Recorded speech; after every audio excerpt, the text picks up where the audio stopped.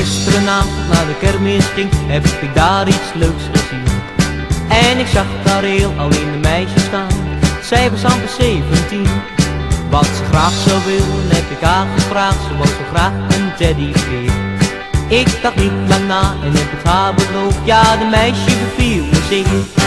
Oh, oh baby, schiet voor jou teddybeer, ik wil dat jij gelukkig bent. Voor de kus van jou doe ik nog veel meer, al kost dat mij misschien de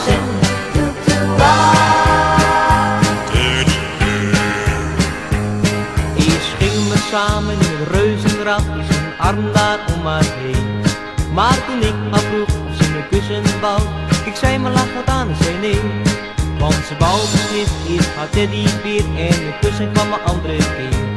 Weer dacht ik na en ik het haar beloofd, ja de meisje beviel me zozeer. Oh, oh baby, schiet voor jou een teddybeer, ik wil dat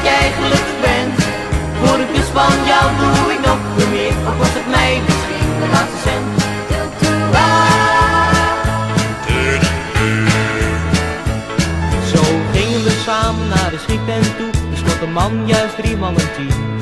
En hij won daarmee de laatste teddybeer, die liet het toen mijn meisje zien.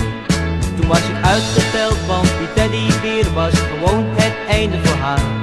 Ze liet me doodelijk staan en ging toen weg met hem en ik riep haar nog achterna. Oh, oh baby, schiet voor jou teddybeer,